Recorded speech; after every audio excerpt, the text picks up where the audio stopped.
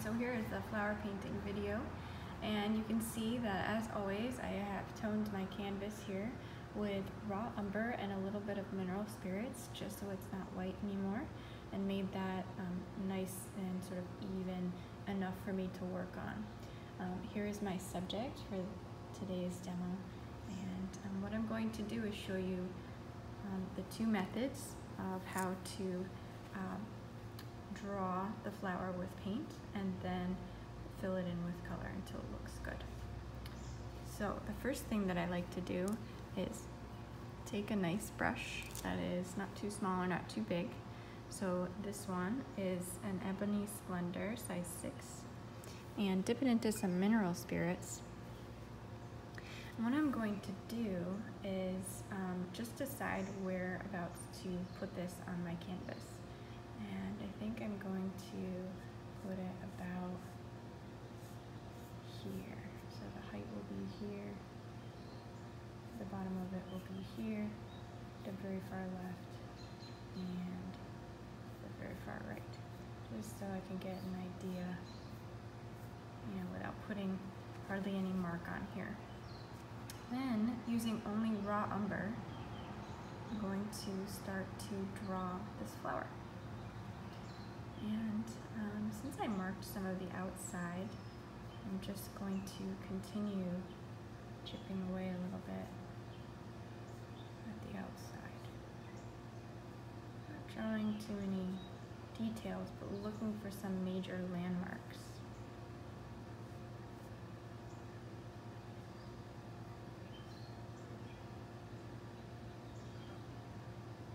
Looking at it kind of as a whole.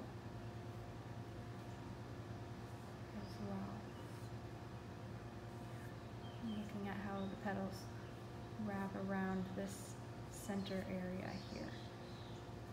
The center area is to the left and a little bit higher than center.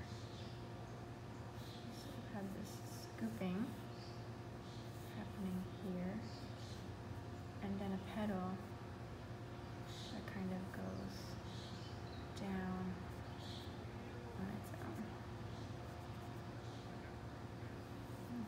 this is all very approximate. And what's nice about the raw umber is it's very movable and um, we could wipe it out with mineral spirits or keep going. And it dries pretty quickly too, so um, by the time I'm done drawing all of the little shapes, I'll be able to put in some color and it won't mix in with the color. It'll be dry enough so the color lays on top instead of mixing in. Once I feel pretty good about the outside generalities, I like to go into the center and work out because the center is the most complicated area. I want to make sure that I can fit all of those petals in there. So I'm looking at the shape of the um, tiniest part on the inside, which I think my view, my eyesight view is coming a little bit more um, on top and the camera view is more straight on so you might not see the shapes exactly as I see them but I'm looking at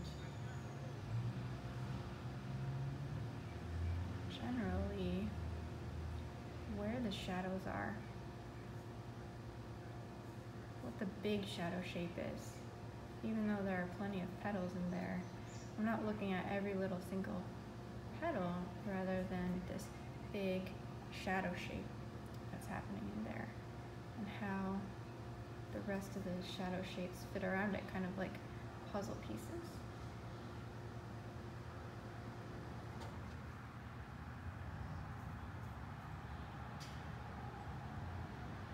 Leaving space for the light shapes of those petals as well.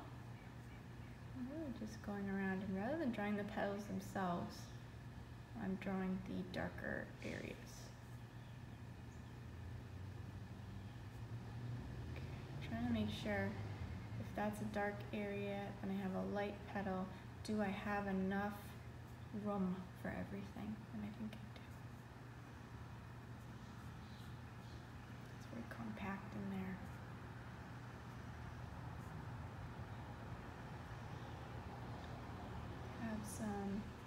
Shapes radiating out from the center.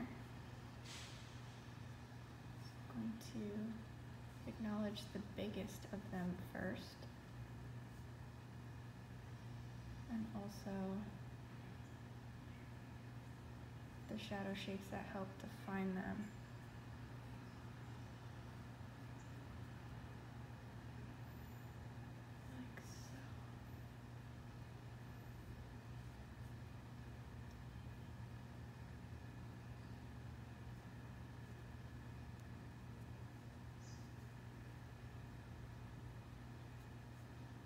getting a little convoluted, but that's why, you know, I'm really just trying to stay focused.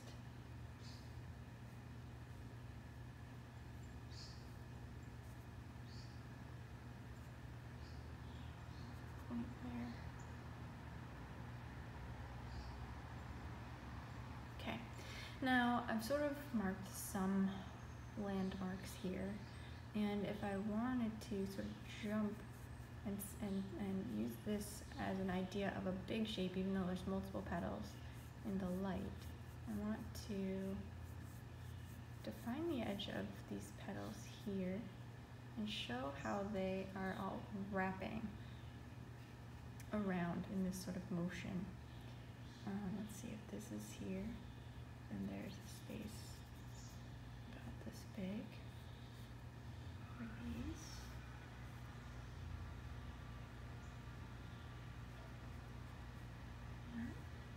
wrapping happening there.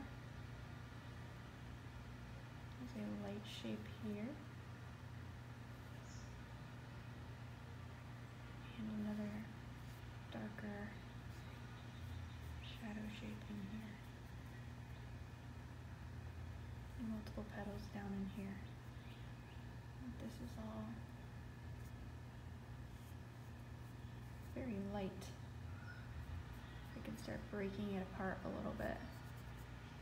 You can see just how little paint I'm using. It's very dry.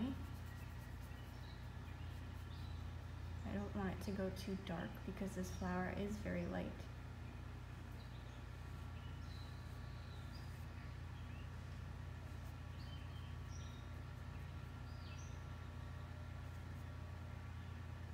I think one of the hardest things is trying to stay focused on where you are on the flower.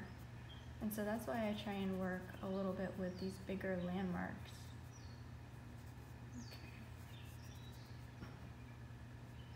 You know, like if I know that this is a big landmark here, it can sort of ground me a little bit.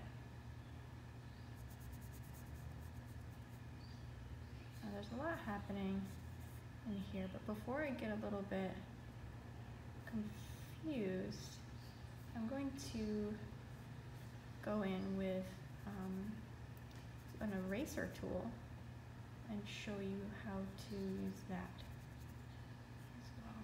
And I've done this on a number of videos now. So what you want to do is then put that um, paintbrush aside, take a new paintbrush, and so I'm grabbing a, a bright this is also Creative Mark Ebony Splendor size 4. And you can see it's not um, very big, but it is a good size for making one swipe for a lot of wider petals or narrow petals because it's so thin. So that's why it's a good one to use.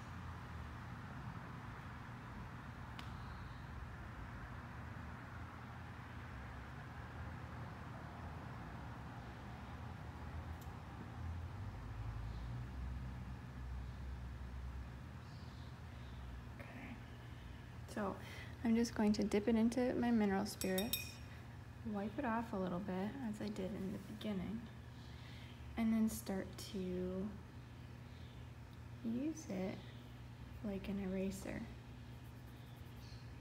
So you can see I'm sort of scrubbing the paint away.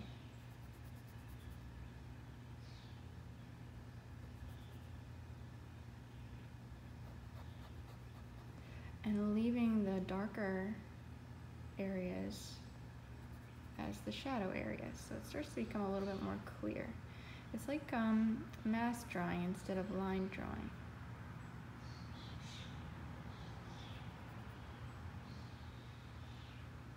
I really only want to do this in the very lightest areas.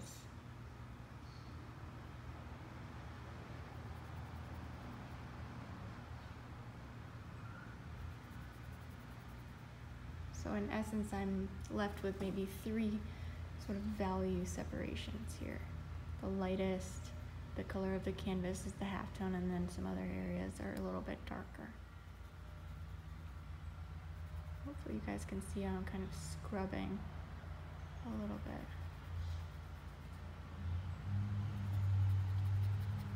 I gave this demo for my flower painting workshop a couple weeks ago. So if you weren't able to make it, this is a nice way to see how to do this. And these are beautiful roses too. They are um, Desdemonia roses, David Austin roses. Very important to stay organized in here and not rushing. I'm going very slow.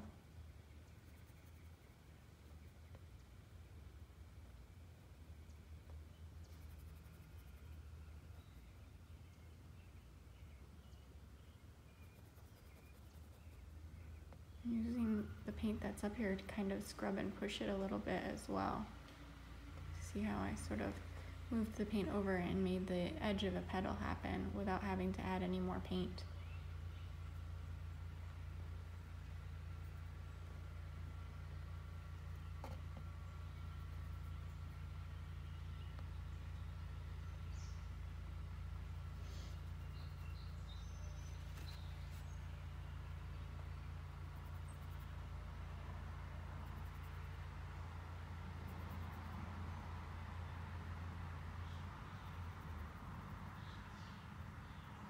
This is a nice new brush too. That helps.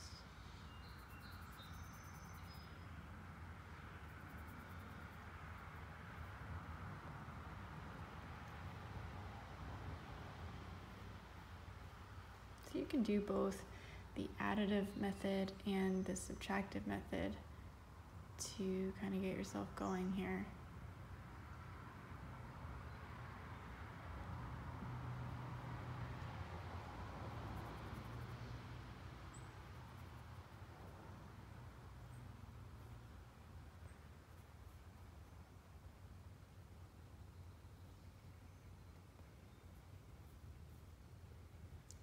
Again, I don't like to wipe it out unless it is a very light value. So I'm going to keep an eye out for that.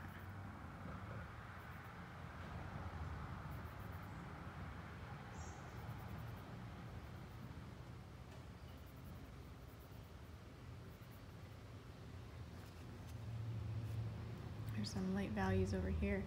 Also um, note that I didn't dip my brush into the mineral spirits for a second time yet. This is a uh, has enough mineral spirits on it to last a while, which is nice. Otherwise it gets too drippy.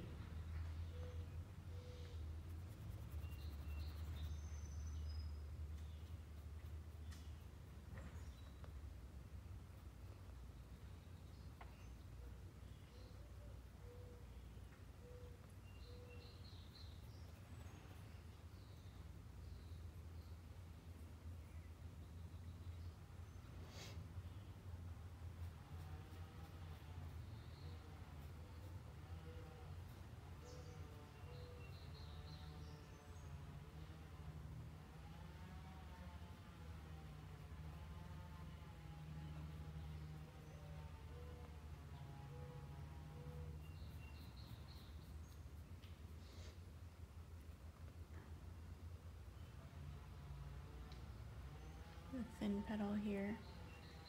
Just see this foreshortened view of it, so that's good here.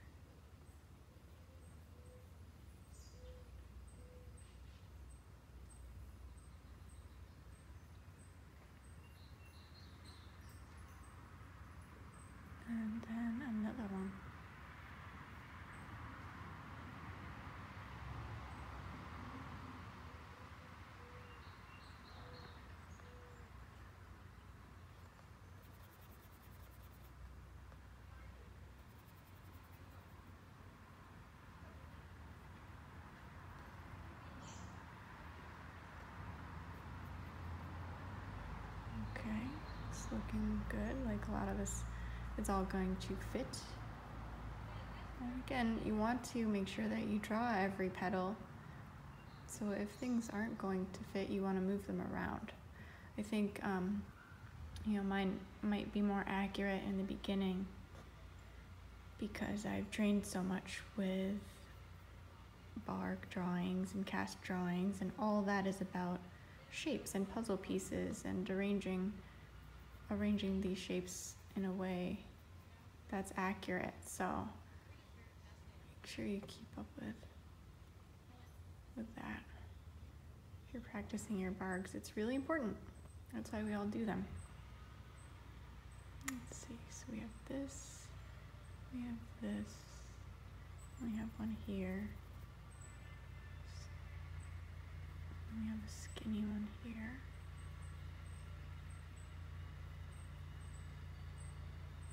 This taller.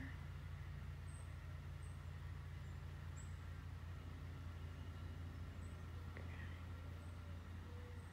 Another one up here. So these aren't so much in the light until they get back here a little bit.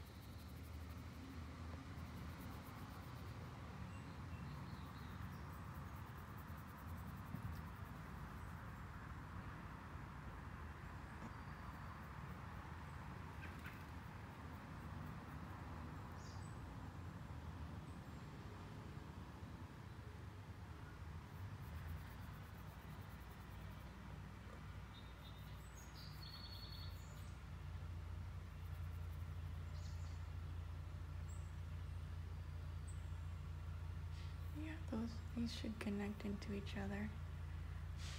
And then there's one in the back here.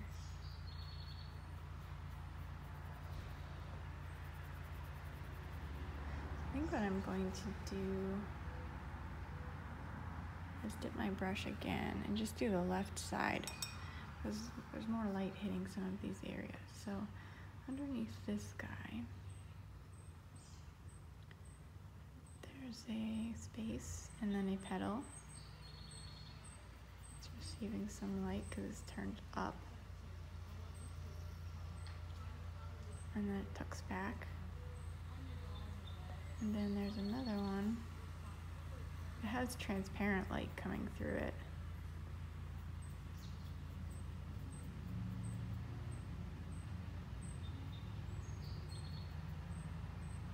And then underneath, I guess I miscalculated this space a little bit because there's the petal that has to be here and it's really in light until it moves over here. So less light there. Yeah. And then there's a big light space, a whole petal that's turned and facing the light right here.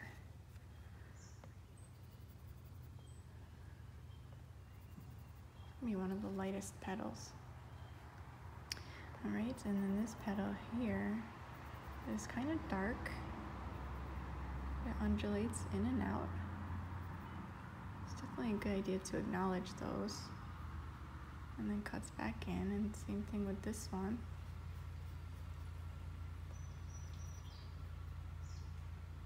Goes in and out and joins up. With another petal like that.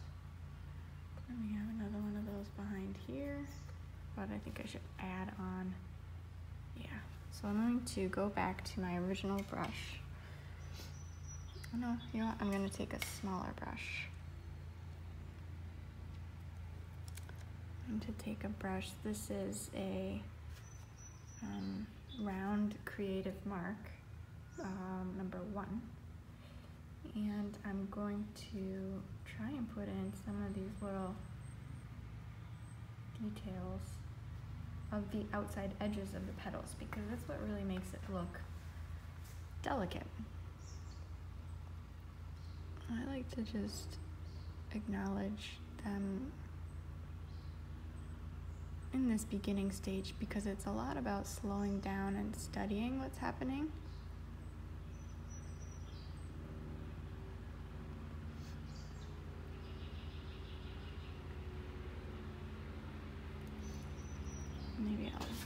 get a little bit of mineral spirits on this brush to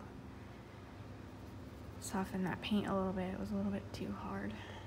Okay, so we have some, it's a little bit too dark, so I'm just going to tap, dry it out by tapping it on a paper towel. And then I'm looking at character.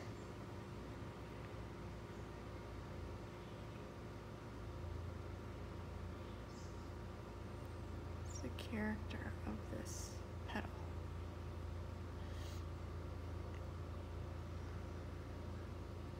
This one crosses here as we have it. There's another one in here. This edge of this petal actually comes down a little bit more and over a little bit more.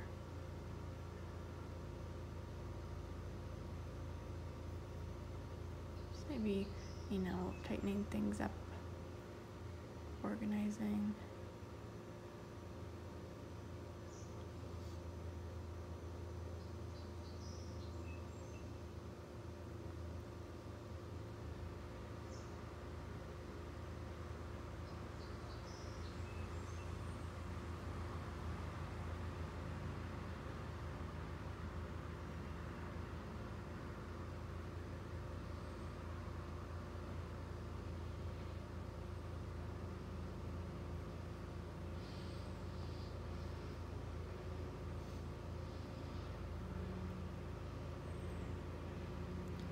It's important to look for where things connect as well as where they wrap around.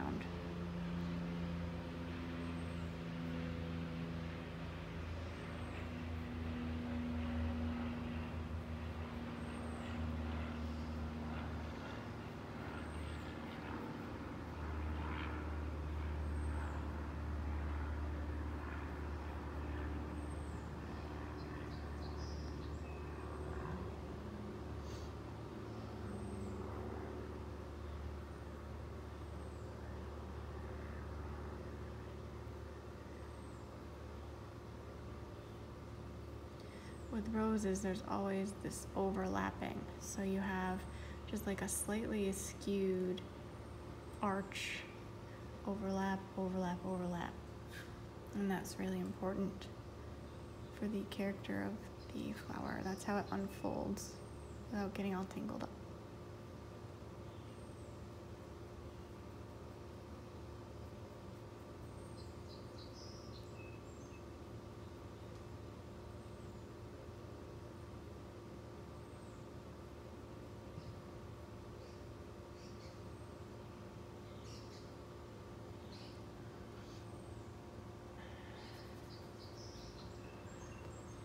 See, I'm just going to make some of these edges.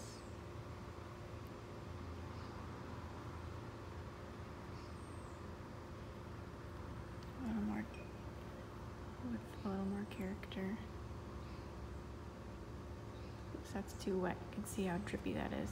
So I'll just take some paper towel, start over.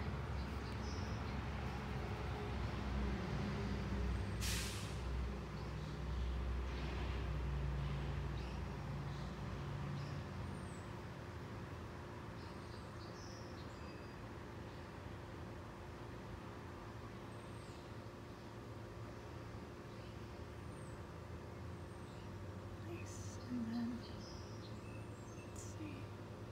This was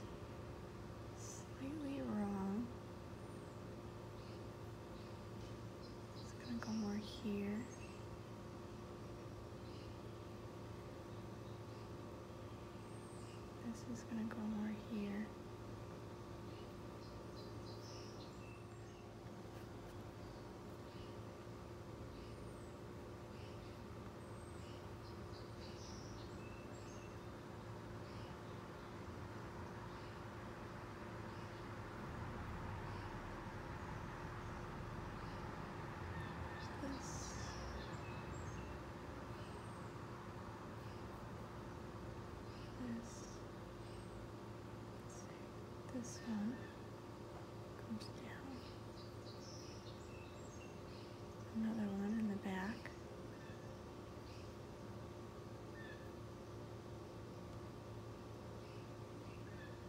Let's see, this area got confused. Hmm. Oh, it's because it's unfolding. Let's push this out. Let's take that eraser brush. Push the scoop of this one.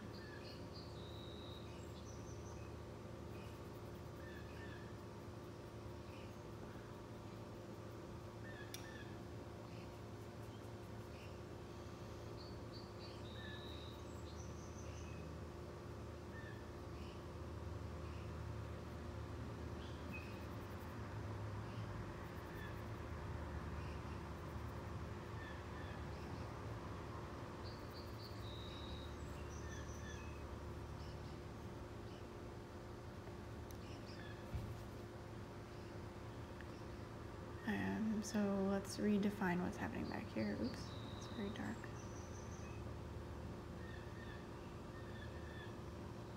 This one scoops down and around. This one cuts in. There we go.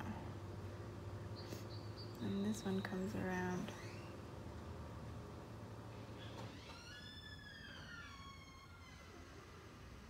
The outside.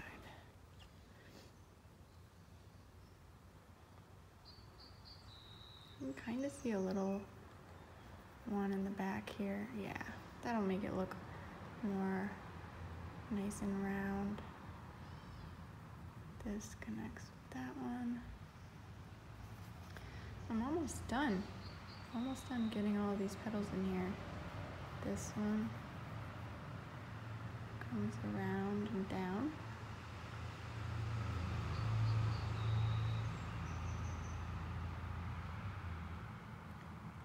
Nice. In front.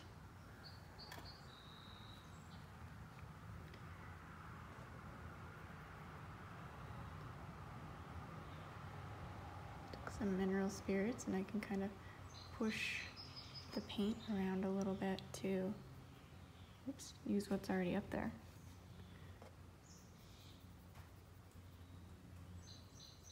To create these little shapes.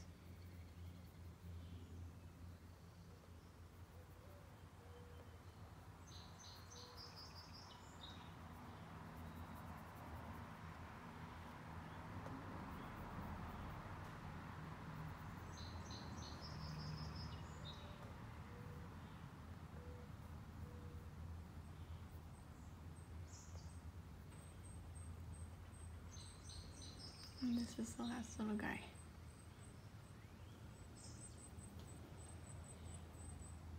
Nice.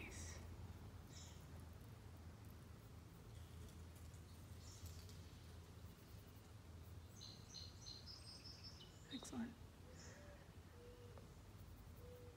Okay.